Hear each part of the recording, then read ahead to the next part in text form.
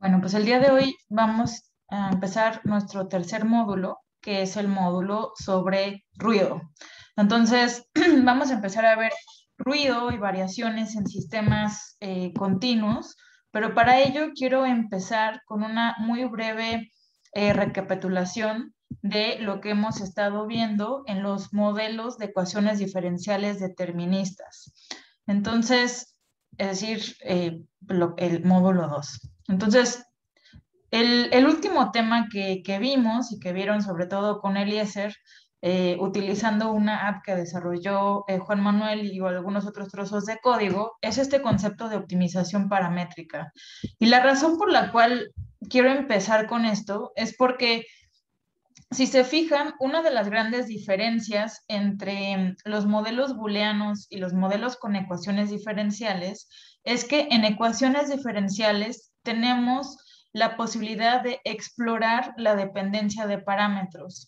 Entonces, para eso, eh, normalmente, seguramente les pasó esto cuando en, su examen, que pues a la hora de, por ejemplo, hacer una integración numérica, pues la primera pregunta es, bueno, pues qué valor de parámetro utilizamos o de vector de parámetro utilizamos y qué sucede si hacemos una variación de ese valor, o sea, si en vez de decir que mi K es 1, digo K es 10, o qué pasa si es 1000, o qué pasa si es .00007. Entonces, justamente esas, esas consideraciones, eh, el primer punto es encontrar un conjunto razonable de valores paramétricos y esto normalmente se hace con una optimización paramétrica. Entonces, esto ya lo vieron, solamente quiero recapitular muy rápido que lo que se hace en la optimización paramétrica es minimizar una función de costo o dicho de otra manera, em, minimizar la distancia o el error entre mis datos experimentales en todos los tiempos donde tengamos mediciones y eh, las predicciones o el comportamiento del modelo dado cierto conjunto de parámetros. Entonces, em, esta función de costo, pues es el error medio cuadrado y entonces lo que buscamos cuando hacemos optimizaciones paramétricas, al menos de las tradicionales, es minimizar esta función de costo sobre el valor de los parámetros. Es decir, explorar el espacio de parámetros, que si se acuerdan, desde un inicio hablamos que el espacio de parámetros puede equipararse con el espacio de fenotipos, ¿correcto? Entonces, exploramos el espacio de variantes paramétricas o si quieren fenotípicas, tal que nuestro modelo matemático se parezca lo más posible a los datos experimentales que tenemos. Y para eso se utilizan algoritmos de optimización. Eh, normalmente, eh, bueno, lo deseable es utilizar algoritmos que se llaman globales, que básicamente lo que hacen es evitar que nos quedemos atrapados en un mínimo local. ¿Qué nos referimos con esto? Que pues quizás hay, eh, acuérdense, bueno, otra vez voy a apelar a su imaginación porque no tengo para dibujar aquí. Eh, no, no tengo. Entonces, imagínense que, ups, imagínense que eh, que esta función de costo, pues es un eh, polinomio, bueno, que depende de valores de parámetros, eh, que tiene varios mínimos, como si fuera, por ejemplo, un polinomio de grado 3, ¿no? Bueno, no, de, de grado 5, perdón. Uno, no sé, que tenga a lo menos, al menos dos mínimos. Entonces, uno de estos valores mínimos, pues va a ser más mínimo que el otro. Ese se llama mínimo global. Entonces, si queremos encontrar el mejor, mejor, mejor conjunto de parámetros, necesitamos utilizar algoritmos globales. Entonces, pues esto es igual, sobrepasa un poco este, este curso. Lo único que quiero que se queden por lo pronto es la, la intuición de que queremos minimizar las funciones de costo y para eso es preferible utilizar algoritmos globales, aunque computacionalmente son o pueden ser bastante más costosos. Eh, en el ejemplo que nosotros eh, que ustedes han, me parece, em, explorado con eh, grinds, con la función fit, de hecho, se le puede decir qué tipo de algoritmo utilizar. El, de, el estándar me parece que es, es, este de Needler-Ment, que es un algoritmo que es local. Entonces, pues bueno, igual más adelante, si quieren profundizar en estos temas, pues pueden eh, profundizar tanto como ustedes quieran en este tema de optimización y de selección de algoritmos. Por lo pronto, solamente mencionar que, em, por ejemplo, en, nuestro modelo de, red de ejemplos, supongamos que tenemos datos experimentales que lo que miden es a, nuestro heterómero, ¿sí? que correspondería a la cantidad de eh, X unido a Y. Un ejemplo de esto podría ser, supongamos que X es un factor de transcripción, por ejemplo, es MAD1, y Y es un sitio de unión a ese factor de transcripción, y entonces cuando se asocian, se eh, genera un eh, elemento, bueno, un, complejo proteína ADN que es posible detectar por medio de técnicas como chip, por ejemplo, ¿no? Entonces se puede detectar eh, la dinámica de la generación de este heterómero en el tiempo y estos números o estos valores, perdón, se pueden utilizar para eh, deducir cuáles son los parámetros que dan lugar a esta dinámica. Entonces, eh, así como ya lo vieron, pues para ello eh, otra vez tenemos que dar nuestro modelo matemático, un primer estimado de un vector de parámetros, condiciones iniciales y luego le tenemos, y me parece que, bueno, esto es importantísimo, si no tenemos datos no se puede hacer una optimización paramétrica, punto final. Entonces, le damos los datos entonces le decimos, bueno, pues a los tiempos 0, 1 y 3 horas, eh, la variable de estado XY está eh, en estas concentraciones y quiero que, dada esta información, me digas cuáles son los parámetros óptimos, eh, cada dimerización y la cantidad total de ADN que hay. Y para eso utiliza el método, en este caso, este algoritmo local. Y lo que obtenemos al hacer esto pues son curvas que minimizan el error entre el modelo y los datos experimentales. Aquí los datos experimentales, de hecho los puse tan gorditos que ni siquiera se nota la diferencia entre la línea y los datos experimentales. O sea, el error aquí es, es muy, muy pequeño, es del orden de 10 a la menos 14. Entonces, eh, pues sí, eso efectivamente es un valor muy, muy, muy pequeño, eh, un, error muy pequeño y pues nos damos por bien servidos, ¿no? Esto es nada más un, un, ejemplo de juguete para recapitular muy brevemente la importancia de hacer optimización paramétrica para tener un conjunto razonable de valores de parámetros eh, que podamos ahora tomar como valores nominales. Entonces, em, hay muchas razones por las cuales quisiéramos hacer optimización eh, paramétrica. Eh, una, una parte importante es que podemos ver, por ejemplo, si nuestro modelo matemático, y quizás Elías les habló un poco de esto, si nuestro modelo matemático es razonable, o sea, se explica bien los datos experimentales, o si le falta hacerle alguna modificación. Entonces, si ustedes en su modelo de Opuntia con herbivoría y demás, eh, hubieran, le hubieran metido ciertos datos experimentales, eh, por ejemplo, no sé, de, de, Tlaxcala o lo que sea. Em, voy a pasar a otro cuarto porque me da miedo que se acabe el internet. Y, y hubieran intentado ajustar su modelo matemático y encontraran que no ajusta, eso quizás les hablaría de que el modelo no explica lo suficientemente bien los datos experimentales y que hay que modificar el modelo. Esto es a lo que nos referimos con evaluar qué tan plausible es un modelo dada la evidencia empírica. Pero bueno, em, en resumen, pues lo que hacemos eh, con optimización paramétrica, o sea, supongamos que ya tenemos un modelo que ajusta suficientemente bien a los datos experimentales, entonces, lo que queremos hacer ahora es, eh, pues, ahora que tenemos un conjunto nominal de parámetros, ahora sí, lo que vamos a hacer es empezar a variar alrededor de ese conjunto nominal. Es como si tuviéramos eh, un sistema en sus valores operacionales. Entonces, a mí me gusta mucho, siempre uso este ejemplo de una piñata, o sea, ya que construimos nuestro modelo, con lo decoramos y demás, lo, con sus valores de parámetros nominales, ahora le empezamos a dar golpes. Queremos ver qué sucede si ahora distorsionamos el funcionamiento del modelo, por ejemplo, variando los valores de parámetros. Entonces, si se fijan, eh, O sea, ya que tenemos nuestro modelo en un estado nominal, ahora podemos empezar a ver qué sucede si lo sometemos a diferentes tipos de perturbaciones. No solamente en parámetros, sino como veremos hoy también, estructurales, eh, con ruido interno y demás. Entonces, lo primero que quiero comentar en este sentido es eh, una de las cosas que se hace y que no, en este curso no tenemos tiempo de ver, pero que quiero mencionar muy rápidamente, es un, algo que se llama análisis de sensibilidad paramétrica. Entonces, imagínense que tienen su espacio de parámetros, ¿sí?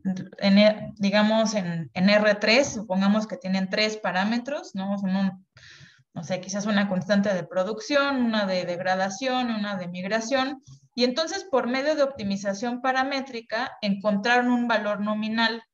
Este valor nominal vive en este cubo de tres dimensiones, cubo, es decir, en tres dimensiones, porque pues podríamos variar, no sé, si es 1, 1, 1, pues podemos variar en dirección de cualquiera de los tres parámetros, ¿correcto?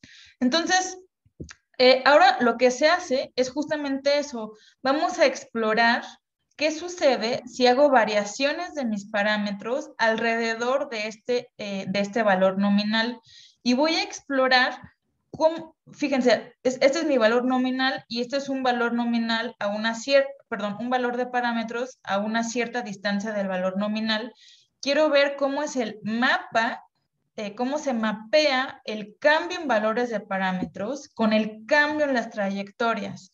Entonces, una pregunta fundamental en biología de sistemas cuando utilizamos ecuaciones diferenciales ordinarias es justamente entender este mapa, esta relación entre el espacio de parámetros, que repito, podemos pensarlo un poco como el espacio de fenotipos y, perdón, de genotipos y el espacio de las trayectorias resultantes, el comportamiento emergente que podemos pensar como los fenotipos. Entonces, quisiera, por ejemplo, entender si yo me muevo tantito acá, o sea, un tantito una distancia delta, eh, ¿qué tanto me muevo en el espacio? O sea, ¿qué, ¿qué tan grande resulta mi divergencia de un comportamiento nominal en el espacio de trayectorias? ¿Sí? Entonces, esta pregunta es, forma una de las bases o de las grandes preguntas en biología de sistemas. Es de las, otra vez, regresando a nuestro tema recurrente de robustez versus plasticidad, ¿no? O sea, yo quiero ver qué tanto se va a alterar nuestro fenotipo o eh, lo que hace nuestro modelo cuando yo altero el genotipo. Entonces, para esto hay varias técnicas, eh, algunas de ellas eh, digamos que de fuerza bruta, otra de ellas, eh, bueno, donde se cuantifica esta relación entre qué tanto de la variación en las trayectorias es atribuible a la dirección, a qué dirección en mi espacio de parámetros. O sea, yo aquí, por ejemplo, quisiera saber cuál es el parámetro que más va a afectar las trayectorias. O sea, si yo, por ejemplo, varío tantito en esta dirección de P1, quizás aquí hago un salto bien grande. Y eso nos va a hablar de un parámetro que es muy sensible en nuestro sistema y que por lo tanto queremos ponerle especial atención porque puede alterar eh, la robustez eh, del sistema que estamos estudiando. Entonces, para identificar estos parámetros, que son los más sensibles, se pueden utilizar entre muchos otros índices, eh, uno que se llama, eh, bueno, un, índice que se llama índice de, de, Morris, que lo que hace es calcular de forma em, numérica las las derivadas de las trayectorias en función o parciales en función de eh, los diferentes parámetros en el sistema. Entonces, pues claro que entre más grande sea esta derivada, pues más grande va a ser la sensibilidad, ¿no? O sea, porque nos está diciendo en qué dirección del espacio de parámetros eh, es eh, el, el, cambio más grande o más pequeño en el espacio de fenotipos o de trayectorias. Otra forma de, medir esta relación es con algo que se llama índice de Sobol eh, Martínez, me parece, que em, lo que hace es descomponer la varianza, o sea, básicamente eh, se analiza o se filtra, por decirlo de una forma coloquial, qué de la varianza en el espacio de fenotipos o de trayectorias es atribuible a qué varianza en el espacio de parámetros. Entonces, pues si lo quieren ver así, eh, este primer índice es más como de cálculo, por decirlo de una forma, y este es como más estadista, pero ambos nos quieren hablar de lo mismo, o sea, de qué tan sensible es mi sistema a variaciones en parámetros y en particular identificar posibles vulnerabilidades en nuestro sistema. Entonces, eh, otro ejemplo, eh, un ejemplo eh, que a ustedes ya les parece conocido, incluso ya tienen su versión de tres dimensiones, es nuestro modelo de Lotka-Volterra, que pues se puede uno, igual como lo acabamos, bueno, ah, como ya saben, metiéndole nuestro sistema de ecuaciones, eh, los valores de parámetros y ahora súper importantísimo, nuestros valores nominales de parámetros que obtuvimos por optimización paramétrica, pues básicamente evaluar, bueno, construir primero un hipercubo, en este caso tenemos cuatro parámetros, entonces le damos las cotas inferiores y las cotas superiores, ¿no? O sea, construimos este cubito, en este caso, bueno, es un hipercubo de dimensión 4, y vemos eh, y calculamos los índices de sensibilidad. Esto nada más se los muestro para que vean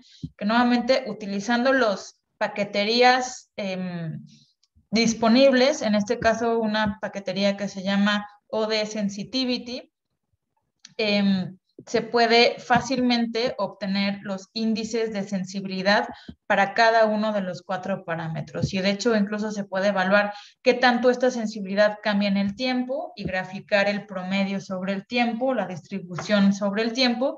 Y aquí pues salta a la vista que el parámetro más sensible pues es aquel que tiene nuestro índice de sensibilidad más alto, en este caso el beta. Entonces, em, pues esto, en realidad hasta ahora seguimos con la parte determinista, solamente estamos empezando a generar un poco la intuición acerca de, eh, pues, qué sucede cuando empezamos a perturbar nuestro sistema, ¿correcto? Em, ¿Qué sucede cuando empezamos a, em, a variar alrededor de valores nominales de parámetros y, demás, y pues qué, qué podemos decir y analizar. Entonces, quizás esta recapitulación lo hubiéramos tenido que haber hecho desde el jueves, pero bueno, eh, cuando trabajamos con ecuaciones diferenciales ordinarias, modelos deterministas, pues siempre empezamos construyendo nuestro modelo, luego lo formalizamos, luego normalmente evaluamos los puntos de equilibrio, luego hacemos integraciones, luego optimización paramétrica y ya con eso nuestro análisis de sensibilidad paramétrica. Esto sería como un pipeline así. Ustedes llegaron hasta acá. Solamente quería yo volver a enfatizar eh, la parte de optimización porque me parece que eso quedó un poquito flojo y añadir un poco una explicación sobre análisis de sensibilidad paramétrica porque esto nos va a empezar a abrir la puerta a evaluar la robustez de un sistema ante variantes alrededor de un valor operacional. Entonces, esto me lo voy a saltar, perdón, pero por falta de tiempo.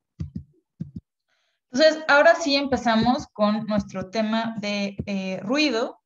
Em, solamente quiero ver si, como no los escucho y no tengo ninguna, pero sí me siguen escuchando, ¿verdad? Sí, aquí está. Gracias, fantástico. Es que se me va el internet, por eso pregunto. Entonces, pues ahora sí empezamos a ver cuestiones de, ruido. Em, Entonces, fíjense, hasta ahora eh, lo que hemos hecho es construir sistemas deterministas de ecuaciones diferenciales donde dada un conjunto de parámetros, un conjunto de condiciones iniciales, vamos a saber perfectamente bien, o sea, de forma determinista, qué le va a suceder a mi sistema. Ahora, ustedes saben que en biología uno de los temas interesantes o uno de los temas, uno de los múltiples temas interesantes y recurrentes es preguntarnos de dónde sale la variabilidad biológica que observamos. Desde un punto de vista eh, matemático, eh, algo que eh, nos sirve para empezar a pensar en, esto, ya lo habíamos platicado cuando vimos modelos estocásticos en, redes booleanas, podemos para, parafrasear o refrasear este concepto de variabilidad empezándonos a preguntar de dónde salen las distribuciones. O sea, ahora ya no nada más nos interesa los valores promedio, sino nos interesa entender las distribuciones de mi población. Entonces empezamos con un modelo así bien, bien sencillo. Entonces supongamos que tenemos, eh, no sé, que queremos, que vamos al campo y lo que vamos a hacer es muestrear cuántos cocos hay por palmera. Entonces, pues va a haber algunas palmeras que tienen cero cocos, varias que tienen uno, poquitas que tienen dos y así sucesivamente hasta n, no sé, el máximo número de cocos por palmera y con eso podemos construir una distribución del número de cocos por eh, palmera, ¿no? Entonces, digo, es un ejemplo muy bobo, pero eh, empezamos, hay que empezar por algo. Entonces, eh, pues podemos empezar a construir esta distribución, vamos a campo y reportamos en, no sé, clase de ecología o lo que sea, eh, pues no nada más el, promedio, sino seguramente también la desviación estándar. Entonces, hasta ahora, con las herramientas que hemos visto, eh, lo que podríamos eh, intentar reproducir es el comportamiento promedio de esta población. Lo que vamos a hacer ahora es ver, bueno, pero a mí me interesa observar o reproducir o entender de dónde salen las distribuciones poblacionales. Entonces, para ello, hay al menos tres tipos de ruido que puedo yo considerar. El primero, lo acabamos de platicar, puede tener que ver con la variación en parámetros, ¿sí? O sea, este modelo que lo, digamos, eh, podría yo modelar la producción de cocos en cada palmera, palmera de una forma bien sencilla. Supongamos que tenemos una constante de producción y luego una constante de muerte o de que se caiga el coco o lo que sea. Em, entonces tenemos dos reacciones en nuestro sistema, eh, una de producción, una de degradación, y pues claro que puede haber variaciones en estos dos parámetros, en espacio de parámetros de dos dimensiones, y las variaciones en estos parámetros pues me pueden llevar a variaciones en el comportamiento final o en la propiedad emergente, que en este caso es el, quizás el estado estacionario de número de cocos por palmera. O sea, tiene un poco que ver con esta exploración que decíamos eh, acá, donde exploramos qué tanto la variación en el espacio de parámetros mapea o está relacionada con las variaciones en las trayectorias o en las propiedades emergentes.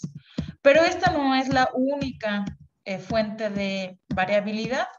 Eh, esta es una, fuente de variabilidad muy importante y de hecho se llama ruido extrínseco y tiene que ver con aceptar que pues quizás esta palmera pues tiene no sé, más eh, auxinas o quién sabe qué es lo que sea, seguramente no son auxinas, estoy diciendo pavadas, pero seguramente una palmera puede tener un contenido hormonal más alto que permite que produzca más cocos o quizás haya más polinizadores en cierta región que en otra. Todas estas variaciones en las condiciones de producción o en las condiciones en las que se dan las reacciones, todas las podemos englobar en variaciones en parámetros y se denominan eh, ruido em, extrínseco. ¿Por qué extrínseco? Porque es algo que viene de, de, fuera, digo, donde esta palabra de fuera o dentro, pues puede ser em, e, extraño. Otra vez quiero checar internet, perdón. Este, pero saben a lo que me refiero, ¿no? O sea, algo que esté afuera o externo, por eso extrínseco, de em, el proceso que estamos modelando. Entonces, si tenemos variaciones en KP, pues quizás puede ser por la cantidad de polinizadores.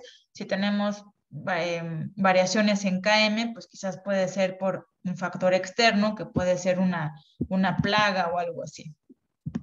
Pero esto, como decía, no es la única fuente de ruido. También podemos tener ruido estructural, o sea, por ejemplo, decir, bueno, es que quizás esto es un poco relacionado a lo que veíamos en modelos booleanos, em, quizás podemos aceptar que los procesos eh, que rigen o que gobiernan la dinámica de producción y muerte de cocos, pues no es solamente eh, esos dos factores, sino quizás eh, hay algún factor adicional que no he modelado explícitamente en mi modelo, en mi sistema, que puede estar afectando la dinámica.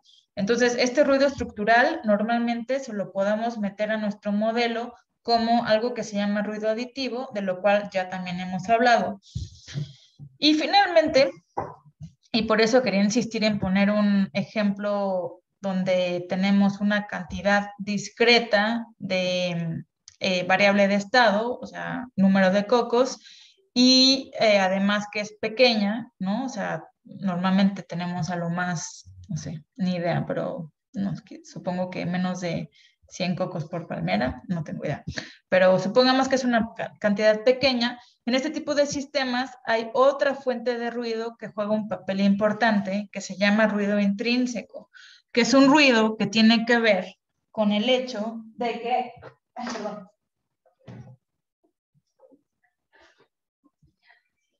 de que los procesos en biología, ¿sí? O sea, las reacciones en biología son procesos intrínsecamente estocásticos que tienen que ver con la colisión entre eh, entes biológicos, que pueden ser, cuando hablamos de procesos de biología molecular, por ejemplo, la expresión de un gen entre biomoléculas, pero incluso en el caso de ecología, pues tiene que ver quizás con eh, qué tan, eh, con la colisión de no sé, un, mono que arranca un coco de una palmera con, con, la palmera, ¿no? Entonces, este ruido intrínseco, pues se modela, o sea, no tenemos que añadirle nada externo a nuestro sistema, ni variación en parámetros, ni variación en las tasas de producción y muerte, sino simplemente por el mero hecho de que tenemos, de que aceptamos que los procesos de que rigen la dinámica de los sistemas biológicos son procesos estocásticos, ya desde ahí podemos recuperar parte de la variabilidad que se observa en biología. Entonces, em, entonces tomando eh, esto en consideración, pues podemos tener al menos tres fuentes de ruido. La primera es el extrínseco. Lo que hacemos aquí normalmente es mostrar parámetros y condiciones iniciales de distribuciones. Entonces, así como lo vimos en el ejemplo de análisis de, sensibilidad paramétrica, lo que hacíamos ahí era explorar variaciones alrededor de nuestro valor nominal y podemos em, construir la distribución que nosotros queramos la menos informada sería una distribución, em, ah, se me acaba de ir la palabra, em, una, bueno, una distribución constante, eh, uniforme, perdón, una distribución uniforme alrededor de nuestro valor, es decir, decir que cualquier valor de parámetros a la izquierda o, a la derecha dentro de cierto rango es igualmente probable que, la, que el valor óptimo o nominal pero también podríamos utilizar otro tipo de distribuciones, como por ejemplo, quizás una distribución gaussiana, no sé, la que a ustedes se les ocurra. Em, también podemos modelar ruido estructural, que sería ruido aditivo, ¿no? Donde, no, donde aceptamos con humildad que no conocemos todos los procesos que afectan o que gobiernan el comportamiento de mi variable de estado y finalmente, podemos también modelar ruido intrínseco por medio de algo que se llama ecuación química maestra, que se modela eh, o que se resuelve de forma o se aproxima de forma eh, exacta con algo que se llama algoritmo de Gillespie. Entonces, eh, todo esto pues, nos mete directo y sin escalas al tema de las ecuaciones diferenciales estocásticas que nos permite responder muchas cosas, entre ellas de dónde salen las distribuciones poblacionales. Entonces, eh, pues bueno, esto es un tema que es que ha sido estudiado muchísimo y ha entrado muy en auge en los últimos años, quizás en los últimos 20 eh, años, desde un artículo de Elowitz, donde se empezó a describir la variabilidad en bacterias y pues ahora pues hay congresos enteros como este de acá, donde se explora explícitamente el efecto de mm. eh, estocasticidad en sistemas biológicos y me encanta em, este, em, este texto de acá que justamente nos permite entender no solamente el comportamiento de una célula promedio, sino ahora ya de poblaciones, bueno, célula o organismos, sino ahora ya de poblaciones y otra vez no solamente del em, comportamiento promedio, sino de otros atributos de nuestras poblaciones. Y ahora eh, quiero mencionar que bueno, seguramente ustedes lo, saben bien, pero bueno, este libro, que si no lo han leído, por favor léanlo, es muy bueno. Eh, esto es uno de los grandes, grandes aportaciones de, Darwin a la teoría de la evolución, ¿no? O sea, justamente pasar de una descripción de eh, comportamiento promedio de, organismos a aceptar que lo que, lo que puede estar cambiando en el tiempo son propiedades eh, de poblaciones, distribuciones poblacionales. Entonces, pues es bien relevante no solamente desde el punto de vista matemático, de bioingeniería, sino también desde un punto de vista evolutivo, entender y aprender a modelar em, sistemas estocásticos en biología. ¿Cuál es el libro, perdón? Ah, Se llama El biólogo dialéctico, que es de Lewis y Lewontin. Este de acá. Gracias. Nada.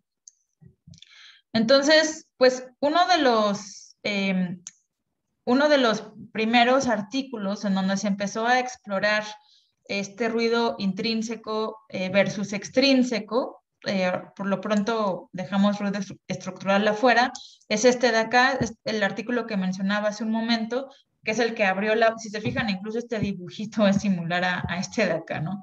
Eh, que abrió la puerta a este tipo de estudios, ¿no? O sea, donde, pues básicamente, eh, tomándole fotografías o, o, imágenes a células individuales en un cultivo, en este caso de E. coli, con diferentes marcadores, pues empieza a observar no solamente que las células son distintas entre sí, sino que además eh, son distintas al menos por estas dos fuentes de ruido, o sea, tanto ruido en el microambiente, si queremos, o ruido extrínseco que puede afectar el ruido en parámetros, o sea, ruido quizás en la abundancia de receptores en membrana o la abundancia de, de polimerasa, etcétera, sino también tenemos nuestro ruido intrínseco. Y pues bueno, si no han leído este artículo, es eh, uno de los pilares de biología eh, en sistemas. Eh, creo que, ah, bueno, abre la puerta a una discusión grande, ya es muy viejo, seguro algunos de ustedes ni siquiera habían nacido, pero me parece que sigue siendo interesante y las preguntas que plantea siguen siendo válidas, ¿no? O aquí lo que se hace es observar experimentalmente que hay al menos estas dos fuentes de ruido, intrínseco, extrínseco, incluso en, bacterias, en sistemas totalmente controladas, y abrió la puerta a que, por ejemplo, en levadura también se empiecen a hacer este tipo de estudios, y justamente a que en biología de sistemas, biología matemática, nos empecemos a preguntar de dónde salen las distribuciones y cómo se modulan. Esta pregunta de cómo se modulan es importantísima. Quiero quizás hacer un pequeño paréntesis, tal vez más filosófico, donde eh, nos preguntamos, pues, digo, podemos querer modelar sistemas biológicos solamente porque, porque sí, porque nos interesa, eh, pero en realidad una de las motivaciones, quizás no, no, no mía en lo personal, pero que ha Em, fomentado el avance eh, de la biología de sistemas en los últimos décadas es justamente esta posibilidad de, por medio de modelación matemática, poder em, diseñar estrategias de manipulación de nuestros sistemas biológicos. Entonces, esto puede ser desde construcción de biocircuitos, y ahí viene otra vez esta eh, relación tan estrecha que tiene la biología de sistemas con la biología sintética, pero también, eh, por ejemplo, el diseño de intervenciones farmacológicas, que es un poco más hacia la dirección de lo que yo hago, por ejemplo. Entonces, para esto es una pregunta bien fundamental entender, eh, pues no solamente de dónde sale una distribución, por ejemplo, si yo le aviento un antibiótico a un cultivo de bacterias, pues voy a tener una distribución de bacterias que responden o no, que mueren o no. Quiero entender, pues, cómo le hago o, bueno, qué es lo que va, puede afectar que esas distribuciones tengan X o Y forma. Por ejemplo, quizás me podría interesar entender los mecanismos por medio de los cuales se generan distribuciones bimodales, ¿no? Esto nos puede hablar de estrategias evolutivas, como por ejemplo que algunas células van a responder, otras no van a responder. Esto ya lo empezamos a ver la semana pasada con modelos biestables. Lo vamos a retomar en su versión estocástica pasado mañana. Eh, pero bueno, eh, son de las preguntas que nos podemos hacer cuando le metemos estocasticidad a nuestros sistemas biológicos y pues podemos empezar a preguntarlos, pues cómo le hago, por ejemplo, para que esta distribución tan gordita y tan con una variabilidad tan amplia se haga, pues no nada más, eh, más, bueno, no nada más recorrer la media poblacional, el primer momento, ¿no? Eh, sino pues también hacer la, la distribución más delgadita, o sea, que haya menos variabilidad en el sistema. O quizás me interese lo contrario, quizás me interesa hacer mi sistema más variable, ¿no?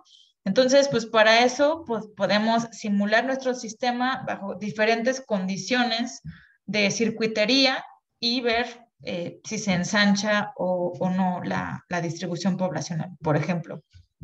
Entonces, uno de los, eh, es un, un, artículo bien bonito eh, de Alejandro Colman, de Universidad de Buenos Aires, donde, por ejemplo, a través de observar modulaciones de distribuciones poblacionales, cae en cuenta que quien está modulando aquí es una retroalimentación negativa en el sistema, ¿no? Entonces, pues igual podemos construir un modelo con retroalimentación negativa, uno sin, y ver en cuál tenemos más o menos variabilidad. Entonces, eh, otra de las grandes preguntas es ver pues, cómo las diferentes topologías regulatorias, o sea, los diferentes circuitos regulatorios o módulos funcionales dan lugar a qué tipo de distribuciones, ¿no? O sea, por ejemplo, eh, pues es el proceso de producción y degradación eh, lineales que vimos, por ejemplo, en el ejemplo de los cocos, pues quizás va a dar lugar a una distribución eh, que pareciera una distribución normal. Pero, por ejemplo, eh, podría ser que si tenemos eh, un, una configuración genética donde el, ADN puede estar, estar cerrado o abierto en, no sé, heterocromatina o no, entonces la distribución se puede hacer más de colas largas, etcétera, etcétera. Entonces, estas son las preguntas que nos empezamos a hacer cuando eh, empezamos a incorporar, bueno, estas son las preguntas que podemos empezar a responder cuando empezamos a incorporar estocasticidad a nuestros sistemas biológicos. Esto es también lo que les decía de eh, cómo podemos modular las distribuciones en circuitos sintéticos. Aquí otra vez con retroalimentaciones negativas. Supongamos que tenemos eh, un circuito así bien sencillito de un factor de transcripción eh, que tiene una tasa de producción y de degradación. Eh, si yo lo inserto así nada más a una bacteria, pues va a tener una distribución ahí bien, eh, bien dispersa, pero si yo le meto un circuito de retroalimentación negativa y ahora lo modelo, pues vamos a tener una distribución muchísimo más, menos variable, ¿no? Quizás quiera yo algo así, quizás quiera yo algo así, quizás simplemente quiero yo entender por qué esta distribución es así, por qué esta es así, quizás quiera yo deducir que si observo un sistema biológico que luce así, con poca variabilidad, quizás deduzco que debe haber una retroalimentación negativa que está controlando eh, o regulando nuestro sistema, etcétera, etcétera, etcétera. Eh, también, esto es, como ya se los mencioné hace un momento, esto es, mm, esto de eh, modelos estocásticos es algo que se ha explorado muchísimo en el contexto de la resistencia a antibióticos. Entonces, eh, aquí el, grupo de Natalia Balabán, que es un grupo muy, muy, muy fuerte en, en Israel, eh, justamente estudia esto, ¿no? O sea, tanto con experimentos como con modelación matemática, pues cómo eh, eh, en diferentes cepas bacterianas, pues cómo se, fíjense otra vez, modulación de distribuciones. Aquí incluso la media poblacional, pues parece, bueno, casi, casi, bueno, se parecen bastante. Lo que claramente varía es las colas de la distribución, qué tan variables, cuáles eh, qué tan disperso es, cuánta varianza hay. Entonces, esto claro que nos interesa entender si, si yo le, quizás queramos ver eh, que, cómo podríamos diseñar antibióticos tal que pues realmente sí eh, aniquile a la inmensa mayoría de la población y no deje cepas ultra resistentes en sus colas largas, ¿no? Esto es algo que vamos a ver eh, el miércoles y el jueves. Yo voy a estar con ustedes ambos días. Es un tema que a mí me parece fascinante eh, porque si se fijan, la semana pasada vimos este tipo de dibujitos, ¿no? De, eh, de diagramas de bifurcación con biestabilidad que justamente nos con el modelo de Angeli, por ejemplo, que veíamos sistema apagado o prendido, y lo que veíamos acá es que pues este tipo de eh, modelos deterministas nos pueden hablar de transiciones abruptas en sistemas biológicos. También entonces veíamos que cuando estamos en un régimen biestable, eh, la distribución resultante muy posiblemente o probablemente sea una distribución bimodal, lo que observemos, pero incluso podemos ir más allá, podemos explorar marcadores estadísticos como de cómo va cambiando la varianza en el sistema dependiendo de qué tan lejos esté yo de estas bifurcaciones o en otras palabras, en estas catástrofes biológicas. Esto se ha utilizado mucho en el grupo de Sheffer eh, en Países Bajos eh, para, eh, por medio de análisis de tanto datos experimentales, bueno, empíricos, como de modelaje matemático, eh, intentar deducir o, predecir si va a suceder una catástrofe ecológica. Entonces, esto se ha hecho mucho, por ejemplo, para ver cambios de régimen en sistemas, en lagos eutroficados, eh, cuando para intentar predecir si una especie se va a extinguir, etcétera, etcétera. Entonces, para todo esto, pues necesitamos poder o aprender a simular nuestro sistema de forma estocástica para poder extraerle los marcadores estadísticos necesarios para, por ejemplo, predecir si en mi sistema hay un alentamiento crítico asociado a o que se va a ver reflejado en un aumento en varianza. Esta es la práctica que vamos a hacer el jueves, que, eh, bueno, eh, entonces, solamente le empiezo a mencionar desde ahora. Entonces, ahora sí vamos a empezar a, eh, a modelar. Para ello, me parece que eh, leyeron, no me acuerdo si para hoy o para mañana, perdón, un artículo de este señor. este es este libro es muy, muy bueno. Bueno, además de este libro, Don Wilkinson también escribió varios artículos. Este libro ya va en su edición, creo que tercera. Esta es de la primera edición. Em, ya hay versiones actualizadas y algo bien bonito de eh, su trabajo es que siempre todo el código lo pone disponible para todo el mundo y está en R. Entonces está muy ad hoc de lo que estamos viendo nosotros.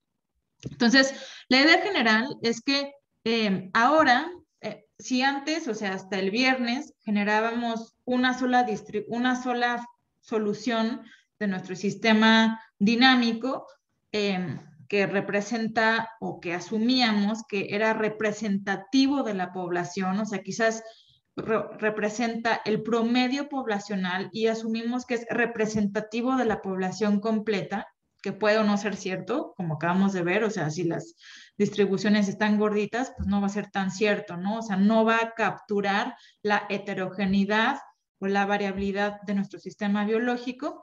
Entonces, lo que vamos a hacer ahora es, vamos a generar familias de soluciones. Y estas familias, pues, lo que van a representar eh, son individuos o, entes, células, por ejemplo, en una población biológica. Esto ya lo empezábamos a ver cuando veíamos eh, modelos booleanos, ¿no? O sea, que em, simulaban una vez y generaban una trayectoria, entonces era como, ah, pues esto es una flor, ¿no? Eh, una flor que va a generar su, bueno, un meristemo que va a generar una flor, perdón. Em, luego lo modelan otra vez y otra vez y otra vez y cada una de estas realizaciones o, eh, corresponde a un em, individuo de nuestra población y desde un punto de vista matemático se llaman realizaciones de un proceso estocástico, como si fueran muestras de un sistema estocástico.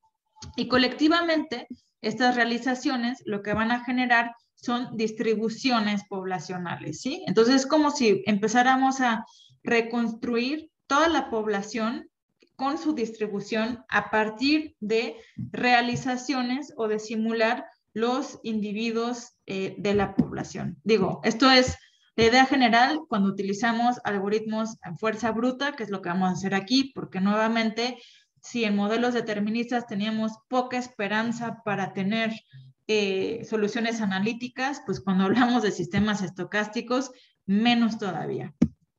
Entonces, eh, vamos a empezar con un ejemplo eh, sencillo. Espérame un momento nada más, porque necesito tomar. Entonces, lo que vamos a ver mañana es justamente este ejemplo sencillo que ya hemos platicado, eh, que tiene que ver con un sistema bien sencillito de producción y degradación. Entonces, rápidamente, si yo les preguntara, bueno, pues, ¿cuál sería el modelo determinista? Pues en tres patadas lo pueden escribir así, ¿no? Tenemos la derivada de C, número de cocos en este caso, eh, es, eh, tiene, está afectado positivamente por una constante de producción de grado cero menos una, una tasa de degradación, que es un término de grado 1, que depende linealmente de la cantidad de cocos. Entonces, este modelo determinista, pues básicamente lo que representaría, o lo que quiero que ustedes vean que representa, es el promedio poblacional, ¿sí? Es lo que van a ver mañana, spoiler alert, pero vamos a adelantar un poquito eh, lo que esperamos observar. Entonces, eh, rayado. Entonces, pues en el modelo determinista, pues sabemos perfectamente bien cómo analizarlo, eh, cómo este, sacar su punto de equilibrio. Incluso este sistema tiene una solución analítica, que en este caso no vamos a platicar más al respecto por cuestiones de, tiempo, siempre nuestro problema en el curso intensivo. Entonces, lo primero que podemos hacer es simular ruido extrínseco por medio de simplemente muestrear parámetros y condiciones iniciales a partir de una distribución. Entonces, esto se los voy a mostrar muy rápido porque es algo que ya saben ustedes hacer perfectamente bien. Le metemos nuestra ecuación diferencial ordinaria, un sistema completamente determinista. Luego le metemos valores de parámetros nominales, los que quizás sacaron de una optimización. Le decimos cuánto tiempo van a integrar el número de iteraciones, o sea, cuántas palmeras van a ir a muestrear, ¿sí? O sea, el número de realizaciones de mi proceso estocástico y luego empiezo a generar una matriz donde voy a guardar las diferentes realizaciones de mi proceso estocástico y para cada, otra vez, esto es muy fuerza bruta, pero para cada una de estos elementos, de las iteraciones, lo que voy a hacer es muestrear mis eh, vector de mis parámetros de una distribución, eh, en este caso normal, y voy a simular eh, mi sistema de mi ecuación diferencial y voy a guardar esos valores, quizás solamente los valores finales, y voy a construir con eso un histograma. Y lo que observamos con, con ello, estos serían las diferentes realizaciones de mi proceso estocástico y si em, mapeamos el valor al final de los tiempos, al tiempo 10, cuando ya siempre estamos en equilibrio, lo que observamos es esta distribución alrededor de un valor eh, promedio, eh, perdón, de una media que de hecho coincide con la solución determinista, con, perdón, con la solución con mis parámetros eh, nominales de mi sistema de ecuaciones. Entonces, algo así se puede hacer, digo, este es un ejemplo muy sencillo, se puede hacer para ejemplos, para modelos más complicados y también van a resultar distribuciones pueden ser más, más complicadas. Y lo que van a ver mañana, porque hasta ahora, pues esto es simplemente simular un sistema de ecuaciones determinista 50 veces, muestreando de parámetros, nada que no hayan visto desde la semana pasada. Lo único que quiero que eh, pongan atención eh, por último es cómo simular ruido aditivo. Entonces, para ello, vamos a utilizar un comando otra vez de, grind. Esto lo, verán mañana con más cuidado. Bueno, lo verán mañana en la mañana por más con más cuidado y lo podrán discutir en clase, donde, pues otra vez, metemos nuestro modelo, como ya saben, como una función. En este caso es el modelo de Lotka-Volterra, que conocen ahora mejor que nunca después de su examen. Le meten parámetros nominales, le meten condiciones iniciales y luego lo que van a hacer es meterle un ruido gaussiano a ambas variables. Es decir, eh, lo que van a decir es en cada uno, cuando yo integre mi ecuación diferencial, en cada delta t pequeño intervalo de tiempo, voy a perturbar mi solución, eh, bueno, mi, mi trayectoria dinámica para arriba o para abajo del valor que hubiera obtenido deterministamente a partir de muestrear, eh, bueno, eh, eh, en qué dirección, pues la dirección me la va a dar un número que muestre yo de una distribución normal. Y esto se hace facilísimo utilizando Grind. Este algoritmo se llama algoritmo de Euler-Maruyama, que lo que hace es pues justamente esto, ¿no? Agregarle ruido aditivo a mi integración numérica.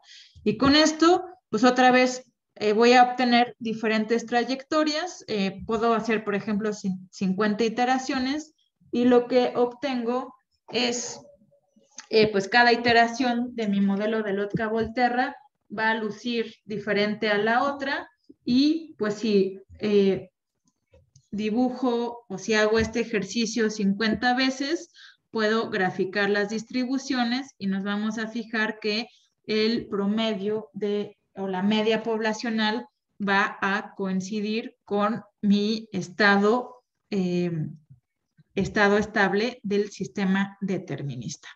Entonces, esto es lo que van a ver el día de mañana. Este, eh, creo que, bueno, como siempre,